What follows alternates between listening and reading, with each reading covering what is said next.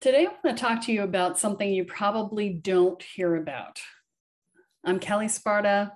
I'm a transformational shaman. And today, we're going to talk about adoration. And when I talk about adoration, what I want to say is that adoration is the act of adoring, right? It's the act of adoring someone, uh, adoring something, right? And what I want to say is that there are many, many paths to doing this work. And it is a path that can take you down some very interesting roads. So I want to first, before I go into what adoration is, I want to talk about what it isn't. Because adoration isn't attachment. Okay. We can adore something. We can in, in just really oh, open our hearts to it and, and be fully present with it and just absolutely adore it without becoming attached to it staying as it is, where it is, or within our purview, right? When we adore something, we are being present with it in the current moment. That does not mean that we expect it to be there the next moment. Okay. That's attachment. Attachment says, I adore you and you must be mine forever. And when we get attached to things, it's a very different issue. That's that's about feeling like we don't have enough, like we need something to compensate for us and things like that. Okay. So when I say adoration, I want to be clear that that is not attachment. Okay. Now that we understand that, what I want you to do, here's your assignment for today. Should you should you choose to engage it, and this is your invitation. I want you to spend some time adoring an object.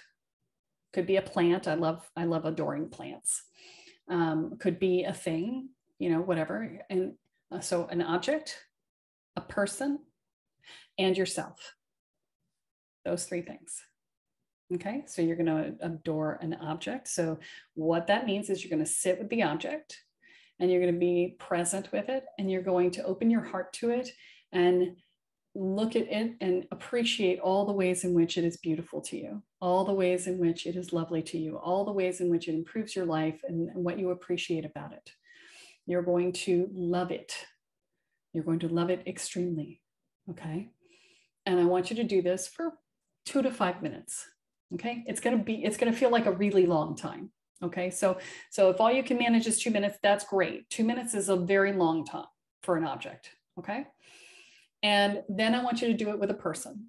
So it could be your significant other, could be someone in media that you appreciate, that you uh, idolize, or, you know, could be a friend, you know, whatever. And so you're going to do that with this person. Now, ideally, if it's a person in your life, you would do it with them. Okay. And so the way that this looks like is that you would have a conversation with them. It doesn't have to be in person. Okay. So if you're, if you can only Zoom with them, then, or FaceTime or whatever, do that. But you're going to be in person with them and you're going to say, uh, This is what I love and appreciate about you. Okay. And this is not a trade. This is not you saying, Oh, I want mine back. I want, I want, you know, I'll give you this, you give me that. No, no, no. This is a gift from you to them where you are adoring them. Now, they may find that uncomfortable. Especially if they're like you and they're not so good at taking compliments, right? But um, and, and, you know, if you guys want to each do this practice together, you can. But the idea of adoration is that it is not an exchange.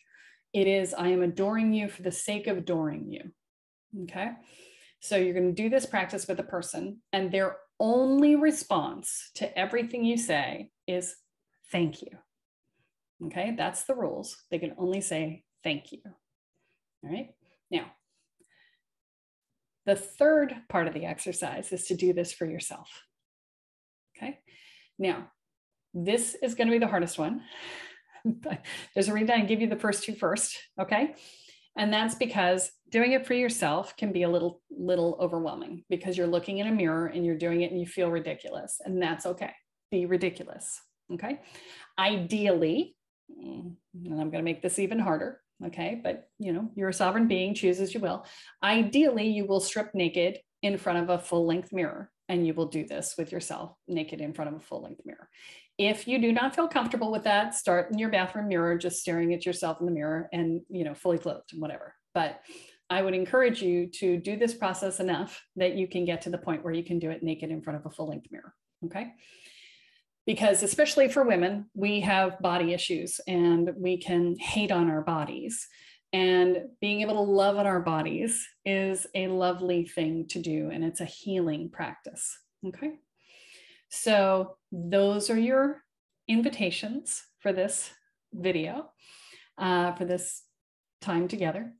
And I will look forward to talking to you next time.